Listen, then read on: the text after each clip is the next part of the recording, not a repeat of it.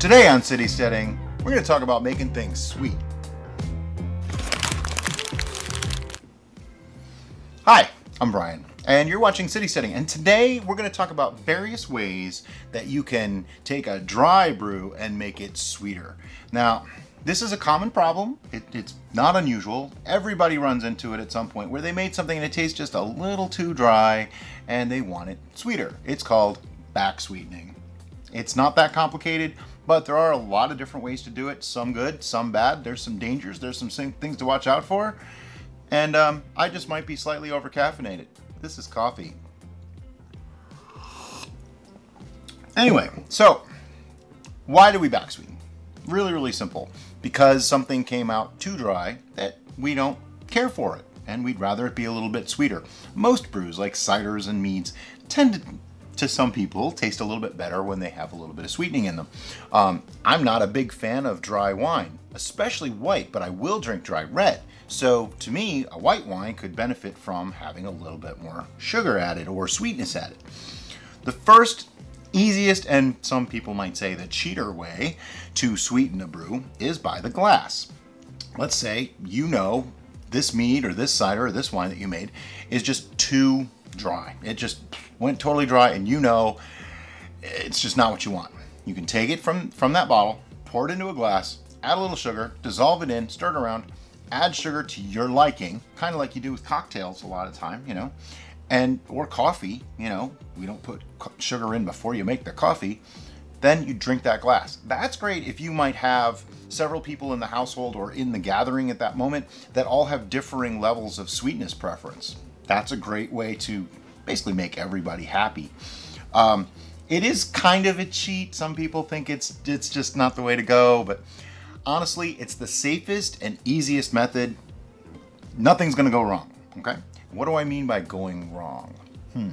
Well, if you took a bottle or a fermenter that was dry and you added more sugar to it to sweeten it up, there is a distinct possibility that you could start up a fermentation again, which if it's in a sealed bottle, could make a bottle bomb. If you're in a fermenter with an airlock, not as much of a problem, but now you have a fermentation again. Why does that happen? Let's just take, for example, bread yeast. Okay, I use bread yeast in a lot of wines. It, it makes a, a, fairly decent wine. It makes a fairly decent cider. Uh, you haters out there, just try it before you hate on it too much. But let's just use that as an example. Let's say it goes to about 12%. And it does, by the way. Fleischmann's, by the way, goes to 12. And anyway, that's a whole other video. Let's just say the alcohol tolerance of my yeast is 12%. Now, every yeast does have an alcohol tolerance, okay? And the yeast, I like to make the joke, they don't know what it is, but those yeast were designed to work to around that tolerance. So they might be within a percentage or two of that tolerance. Say it's a 15% alcohol tolerance yeast, that means you can expect anywhere from 13 or 14 up to even 16 or 17 maybe, but somewhere in that range. Okay, so don't depend on it 100%. But let's just say, going back to our bread yeast example, we made my sweet red wine, which comes out to around 11 to 12% every single time I make it. What if I didn't put in enough sugar and it only came out to like maybe 10%? But used up all the sugars. My final gravity was like 1.000 or even below that. It's gonna taste a little dry. Now, some people may like it that way, but if you don't, and you decide to sweeten it, let's say I add sugar, put more sugar in it. Well, because I didn't reach my alcohol tolerance, and I'm only at like 10%, it's probably gonna reactivate that yeast because they only stopped because they ran out of sugar. Now we gave more sugar. If you added enough sugar to make it go past 12%, that's where things get a little bit tricky. It could stop at 12, it could stop at 12 and a half, but wherever it stops is gonna be, that's kind of it. That's its stopping point. If you add more sugar at that point, it's just gonna make it sweeter. So we've done this in a couple of videos to show different techniques where you can basically just make a dry and then keep step feeding some sugar until it gets to the sweetness level you like. By the way, anybody that goes looking for those videos, we haven't done the second part to them yet. We just started the fermentations last week. But the downside to this is if you did that addition of sugar in a bottle that's sealed. It could explode with the re-fermentation starting to happen. So be very, very careful. Always put that under airlock when you're doing that. Now, if you know you've reached alcohol tolerance because there's still a little bit of sweetness left, but there's not enough, you should be okay to add sugar to that bottle. Definitely okay to add it to your fermenter. Just watch it for a couple of days, see if it starts fermenting. If it does, if it's in a bottle, I would get that under airlock as soon as possible. Just keep the pressure off of it so it doesn't explode. Now, that's the basics of back sweetening, okay? And I when I say sugar, I mean anything that is a fermentable type of sugar. Now, the different types of sugars are white sugar, brown sugar, honey. Fruits are actually a fermentable sugar, and sometimes when you add fruit in, you can be adding some sugars in. Now, they don't add as much sugar as you might think, okay? Fruit just, it doesn't have as much sugars in there to extract out. If you grind it up to a pulp and make juice out of it, that can work too. Some people use juice, like they'll add apple juice to a cider to sweeten it up. Some people will actually use concentrated juice, like the frozen concentrates and things like that. Those are actually a great way because you're getting more sugars with less volume. Now, there's good and bad to everything, okay? If you just add white sugar, brown sugar, or honey, those are your probably your purest forms of sugar, all right? So you're adding the most sugar per little bit of amount that you're adding, thereby not diluting your brew too much, reducing your alcohol content too much. Because here's the other side. If you've reached alcohol tolerance and you add juice in and that dilutes it to below the alcohol tolerance, you could start up a fermentation again. and then you're back in the cycle. Now you can just keep going until it's done, uh, you know, done fermenting, add more sugars, add more whatever, and keep that cycle going. Just, you're probably gonna step feed it to a point where it's gonna go very far past its alcohol tolerance. That 12% yeast might get to 15 or 16% that way because yeast mutates over time. They have a very short life cycle so they can change and adapt. I know there's a lot to take in and I know I'm talking really fast, but I thought it was a really simple topic, and then I started thinking about it and I realized it's a very simple thing that has a million ways to fail and mess up a brew. So I'm trying to give you all the things that can go wrong and how to avoid them. Using a non-fermentable sugar is another option. I never do this, um, but a lot of people have said they do it, like stevia, and um, there's a couple others. I, I don't really even really know the list of them. But the reason why they work is obvious. They're non-fermentable sugars. So no matter what your brew is at, you put these in, it can't be fermented, it just sweetens it up. I like to use real stuff. That's just the way I am. Um, so you would back sweeten a mead, a cider, a wine, all the same way. Okay. There is actually another way to uh, to back sweeten that makes it super safe and it's still natural.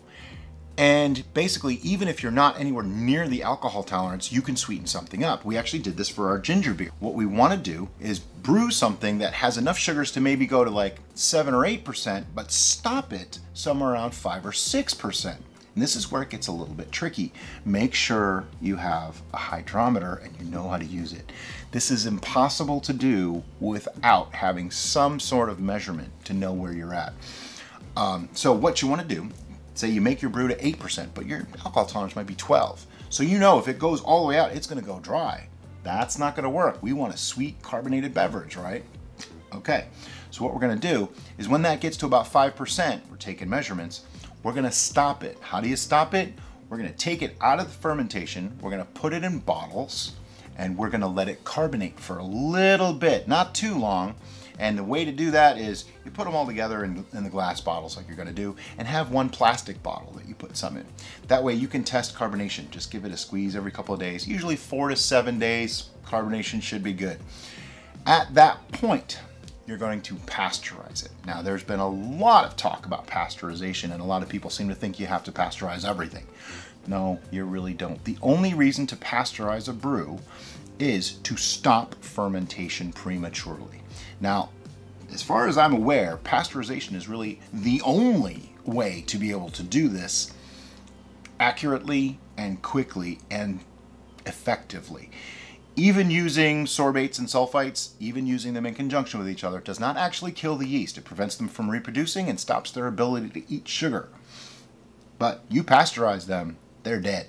They're not coming back, as long as you do it properly. What a lot of people have been thinking is that they have to get it to 160 degrees. That's not true. There's a lot of different ways to pasteurize. Pasteurization can happen as low as 140 degrees. Yeah, that's what I did in the video. We started that water up to 180, then we took it off the heat. By the way, let me back that up. We put that water in a pot, we turned it up to 180 degrees. 180, okay? That's Fahrenheit. I can put a Celsius in the description here, but I can't remember. Get it to 180 degrees. Then take that off the heat. Make sure it's off the heat. Then you take your bottles and put them in. Now they should be sealed. If they're not sealed, you're just going to evaporate your alcohol and you just ruined everything you tried to do. Now these are probably carbonated. Be very, very, very sure you are using bottles made for carbonation. If you're not, they're probably going to explode.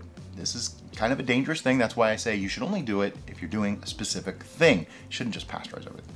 Put them in, make sure that the water goes part way up the neck, but not all the way over the tops of the bottles. Make sure all of your liquid in the bottle is covered with water up to that level.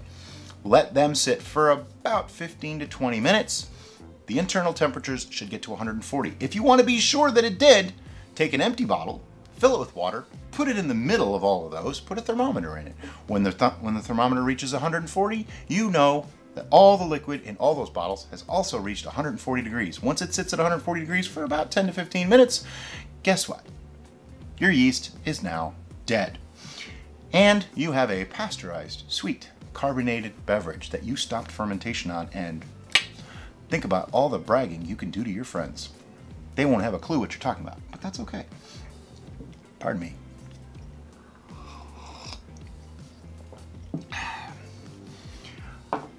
I wanted to make this just a short little kind of PSA type video. And I think I covered most of the different ways that you can back sweeten, except for the one major one. Now this is a biggie. Let's say you have, you know, a big batch that you made, you're still in the fermenter, but it came out dry. When you tasted it, it just wasn't where you want it to be. You can, at that point, back sweeten that. And there's several ways to do it. You can just add all your sugars, concentrates, juices, honey, whatever you want to add to it. You can add all that at once and see what happens. Takes take readings. I mean, you should be able to calculate, you know, using some of our methods about how much you're adding to it so you can know what gravity you're going to. And if you know where your yeast started out and where it should end, you can pretty much guess how sweet it's going to end up. If you don't have any of the measurements and you don't feel like doing the math, add some sugar. And when I say some, let's say you have a gallon batch and it just tastes dry to you and you have no idea what the gravity is. Add half a cup of sugar. Let it sit for a week. Mix it up. Taste it in a week. Is it, is it still fermenting? Do you see bubbles coming up inside it? If it is, add some more sugar and wait a week in between. That way you can let it finish fermenting out and then you're doing what's called step feeding. And eventually you will hit a point where you've oversaturated that yeast and it's just not going to work anymore and bam, now you have a sweetened product. However, if you did take all the readings and you know all the math and you did all that stuff right, you can calculate exactly how much sugar you need to add, let the fermentation finish out to, to where the saturation level of the yeast is, and you still come out with a sweetened beverage in the end. I hope this has helped. I can't think of anything else that I need to say to you guys. I've babbled at you for probably, oh, let's see, 14 minutes straight, but you're probably not going to see all of that because some of this was this. And no one needs to watch me drink coffee. But I hope I helped. If you have any questions, comments, anything, leave them in the description below. I'm sorry.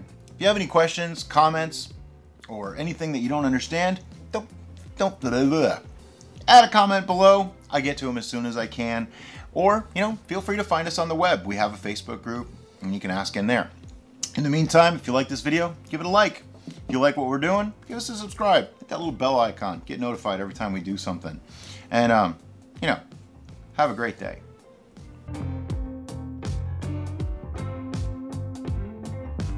Let's say I'm using a yeast that goes to, you know, 12% or 14%, but I only want my brew to be like five or six when it's done. Well, here's how you do that. You started fermenting, you only put enough sugars to let it go to like five or 6%. Now it's gonna stop fermenting because it hit the end of that. It's very dry, right? So add, what we do then is we add just a little tiny bit of sugar and bottle it.